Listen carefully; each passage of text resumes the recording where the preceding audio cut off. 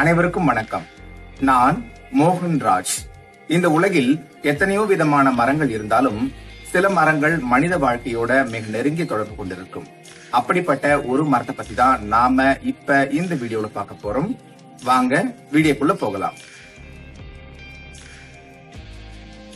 Moringa oleifera எனும் அறிவியல் பெயரை கொண்ட இத்தாவரம் தமிழில் முருங்கை என அழைக்கப்படுகிறது.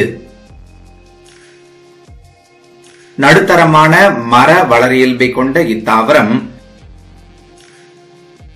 ஏழை எளிய மக்களின் அன்றாட உணவியல் வாழ்க்கையோடு தொடர்புடைய முக்கியமான தாவரமாக திகழ்கிறது.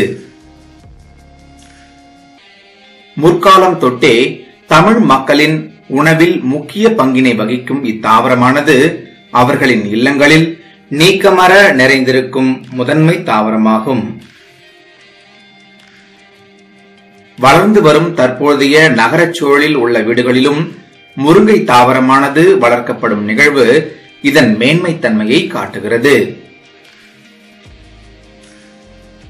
இத்தாவரத்தின் இலை காய் பூ போன்ற பாகங்கள் உணவாக பயன்படுத்தப்படுகிறது.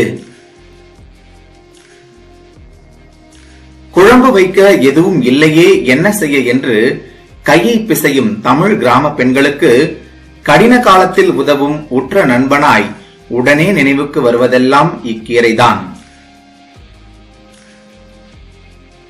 அண்டை அயலாரின் உறவை பேணவும் உண்மையாய் உதவுகிறது இத்தாவரம். கிராமங்களில் முருங்கை மரம் இல்லாத வீடுகளைச் சேர்ந்த பெண்கள் முருங்கை மரம் வைத்திருக்கும் வீடுகளோடு நல்லுறவு கொண்டு அக்கா இன்னைக்கு கொஞ்சம் குழம்புக்கு கீரை ஒடிச்சுக்கிறேன் என்ற சொற்பதங்கள் அடிக்கடி ரீங்காரமாய் ஒழித்துக் கொண்டே இருக்கின்றன. அதேபோல் முருங்கை மரம் அதிக அளவில் காய் வைத்துவிட்டால் அதனை பறித்து அக்கம் பக்கத்து வீடுகளுக்கு பங்கு வைக்கும் பெண்களையும் பார்க்க முடிகிறது. வெளியூரில் வசிக்கும் தன் மகளின் வீட்டுக்கு தாய் செல்கையில் மறவாமல் கொண்டு செல்லும் முக்கிய சீதனத்தில் முன்னிற்கிறது முருங்கை. ஆயாவிற்கும் பேரனுக்கும் அன்பு பாலம் அமைப்பதில் அடித்தளமாய் விளங்குகிறது முருங்கை கீரை அடை. பள்ளி முடிந்து வீடு திரும்பிய பேரன் ஆயா பசிக்கிறது. அடை சுட்டுத்தா என்றவுடன் அவள் அடுத்து தேடுவது முருங்கை கீரையைத்தான். மோர் சிலிப்பி அதில் இருந்து எடுத்து வைக்கப்பட்டிருக்கும் வெண்ணெயை உருக்குகையில் அதில் போடப்படும் முருங்கைக்கீரை வாசத்திற்கு ஈடு ஏதும் உண்டா? மொறுமொறு நொறுக்கு தீனியாக மாறியிருக்கும் அக்கீரையை உண்பதற்கு வீட்டுச் சிறார் கூட்டத்தில் ஒரு போரே வெடிக்கும். வறுமை வாட்டிய காலங்களின் இரவுகளில் குடும்பத்திற்கே உயிர் ஊட்ட மருந்தாய் அமைந்தது என்னவோ முருங்கைக்கீரையை பின்னாக்குடன் சேர்த்து கிளறி உண்ட உணவே. ஆடம்பர உணவென்பது முருங்கைக்கீரையுடன் வேர்க்கடலையை வறுத்து நுணுக்கி செய்யப்படும் அமிழ்த உணவே ஆகும்.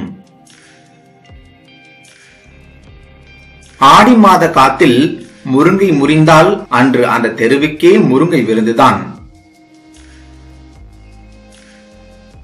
கிராமத்தை விடுத்து நகரத்திற்கு தள்ளப்படும் குடும்பங்கள் தங்கள் கிராமத்து நினைவுகளோடு முருங்கையையும் எடுத்துச் சென்று நட்டு நகரத்தில் கிராம சுகம் காண்கின்றனர்.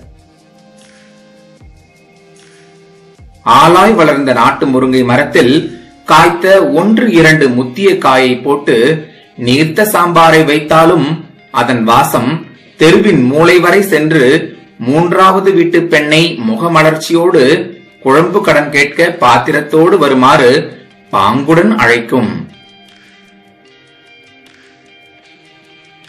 எப்போதாவது காய்த்து குலுங்கும் முருங்கை காய்களை பிரட்டி உண்பதற்காகவே பாட்டிமார்கள் பட்டினி கிடப்பர்.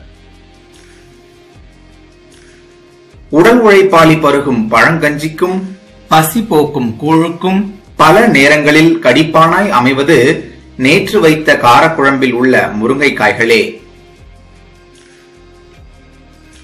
பள்ளி சிறுவனின் பாடப்புத்தகம் கிழிந்துவிட்டால் அதனை ஒட்ட பட்டென அவன் நினைவுக்கு வந்தது முருங்கை பிசின்.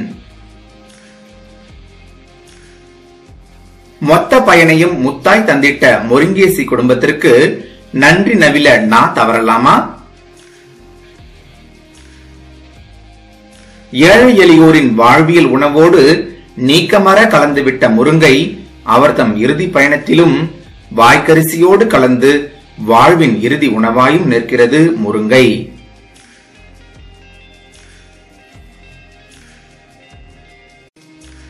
சுடர் விளக்காயினும் தூண்டுகோல் வேண்டும். அந்த தூண்டுகோல் போலதான் உங்களோட சப்ஸ்கிரைப் மறக்காம சப்ஸ்கிரைப் பண்ணுங்க. நன்றி.